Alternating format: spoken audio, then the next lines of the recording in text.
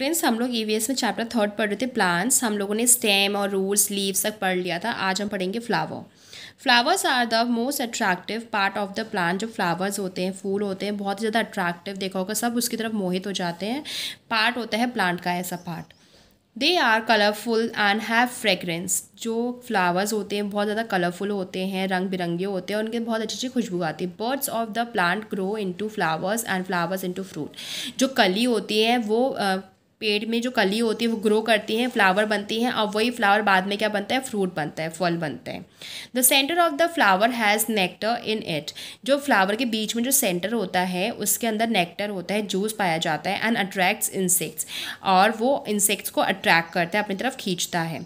It is protected by the petals of the flowers जो हमारा nectar है, वो बचाया जा सकता है बचाया मतलब फ्लावर में बनाया होता है ऐसी जगह की जैसे कि उन नेक्टर को बचाया जा सके इंसेक्ट्स वगैरह से किसके थ्रू पेटल्स के थ्रू पेटल्स लगी होती है, बीच में हमारा क्या होता है नेक्टर इकट्ठा होता है ताकि कि वहाँ पर आके इंसेक्ट्स अट्रैक्ट हों। आपने देखो हनी बीज फ्लावर पर बैठती हैं, बीच वाला जो पार्ट होता है, वहाँ पर से अपना जूस वगैरह सक करती है। Parts of a flower sepal. At the bottom of the flower, you see green tiny leaves called sepals. Parts of a flower में फ्लावर के हम पार्ट्स पढ़ेंगे जो आप सेपल क्या होता है आप यहाँ पर फ्लावर में देखिए ये जो नीचे वाला पार्ट होता है ग्रीन ग्रीन कलर का ये क्या होता है हमारे सेपल होते हैं they protect the flower when it is bud. ये बचाते हैं जब फ्लावर को कि कोई इंसेक्ट वगैरह उसे खाना ले, फ्लावर को इंसेक्ट से कीड़ों से। देखा होगा, पहले जब कली निकलती है तो कली की, कली पूरा ग्रीन कलर के पत्तियों से ढकी हुई होती है तो उसको बोलते हैं हम sepal as the bud opens the sepals curl back and form a cup जैसे बर्ड ओपन होती, कली खिलती है तो ये कैसे हो जाते हैं, एक कप की तरह खुल जाते हैं पूरे, ठीक है? कर्ल हो जाते हैं और एक कप बन जाता है। The whole flower is attach to the stem by a stalk जो पूरा फ्लावर है, वो स्टैल जो होता है, नीचे जो टहनी होती है, इससे अटैच होता है। ये देखो, देख रहे हो आप? ये पूरा, ये नीचे है हमारी, ये स्टैल्क है, ये हमारे सैपल हैं, ये से पूरा फ्लावर जो है अटैच है। Now stamen stamen it is a male reproductive part of the flower plant जो हमारा स्टेमन होता है, ये। स्टेमन के अंदर दो चीज़ें आती हैं। ठीक है, जो ये हमारा स्टेमन होता है, ये जो साइड से छोटी छोटी निकले रहते हैं फूलों में, ये क्या होता है, एक हमारा मेल रिप्रोडक्टिव पार्ट होता है।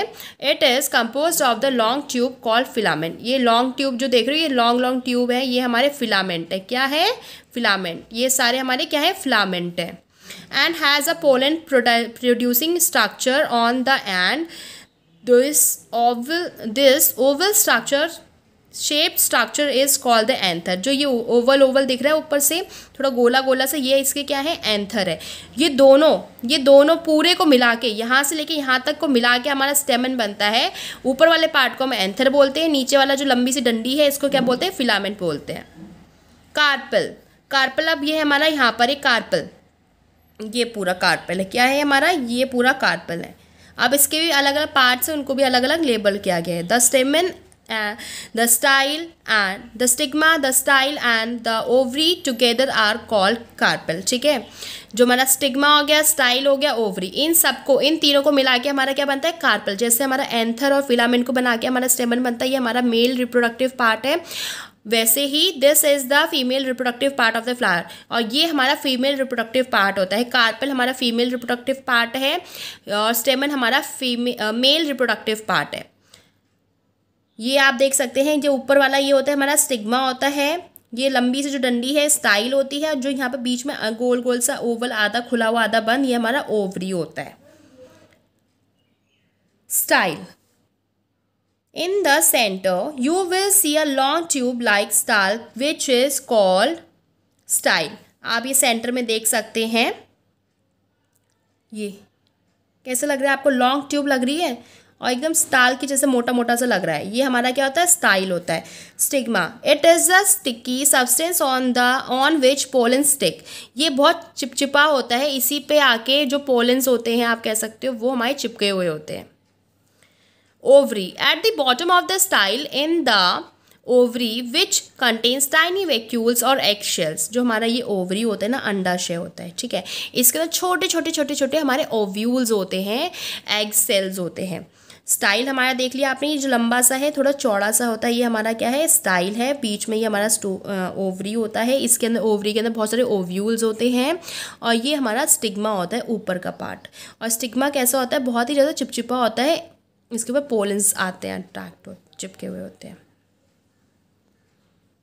pollination Pollination. Insects like butterfly, honeybees and moths are attached to a color and smell of the flower जो हमारे इंसेक्ट्स जैसे कह सकते हो बटरफ्लाई और हनी बीज होते हैं या फिर कोई भी कीड़े वगैरह होते हैं, वो ज़्यादातर क्या, किसकी तरफ़ अट्रैक्ट होते हैं? कलरफुल या फिर स्मेली फ्लावर्स होते हैं, उनकी तरफ़ अट्रैक्ट होते हैं आकर्षित होते हैं। When they sit on a flower to stuck the sweet nectar suck करती हैं। आपने देखा हो जब बटरफ्लाई हो गई या फिर हमारी हनी भी हो गई, वो कहाँ बैठते हैं?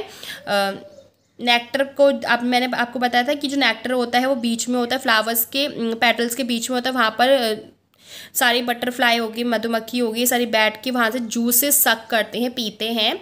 Pollen grain stick on their body जो पोलेंस के ऊपर लगे होते हैं, हमने पढ़ा था अभी स्टिग्मा में क्या होता है पोलेंस लगे होते हैं छोटे छोटे पोलेंस होते हैं वाइट येलो येलो कलर के, वो उस पर चिपके होते हैं, वही पोलेंस इनके पैरों में लग जाए क्योंकि इनके पैर में क्या होता है हेयर्स होते हैं तो उसी पे चिपक, जब ये पान, जब ये जूस पीने के लिए नेक्टर पीने के लिए इसे बैठते हैं तो वही पोलर इनके पैर में चिपक जाते हैं, क्योंकि वो चिपचिपी होते हैं ना?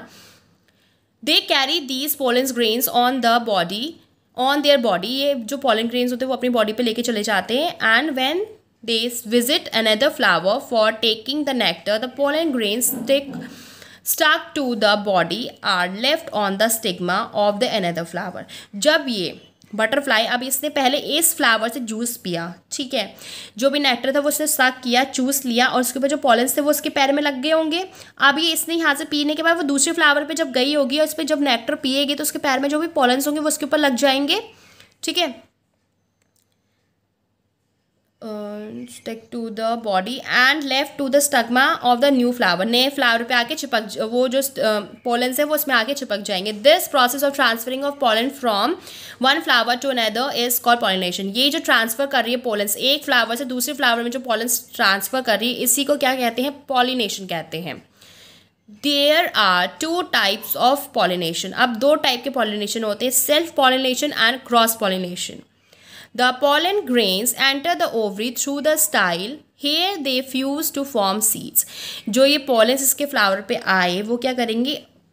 ओवरी जो अंदर होती है ना, उस पर जाके बै, उन, उस पर चले जाएँगे स्टाइल के थ्रू और वहाँ पर फ्यूज़ होके क्या बनाएँगे? बीज बनाएँगे सीड्स बनाएँगे. This process is called fertilisation क्या बोलते हैं इसको? फर्टिलाइजेशन बोलते हैं.